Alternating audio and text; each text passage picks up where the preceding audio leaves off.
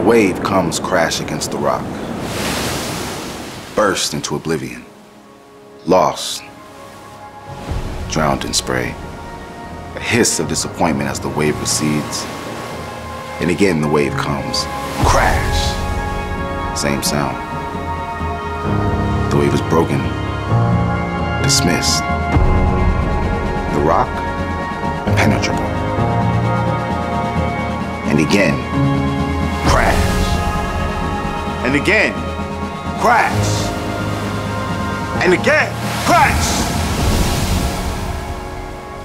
And the rock is unmoved, unimpressed. Doesn't even seem to be paying attention. And we might all be fooled into thinking the rock eternal, the wave quite powerless. If it wasn't for all this, if it wasn't for all this sand.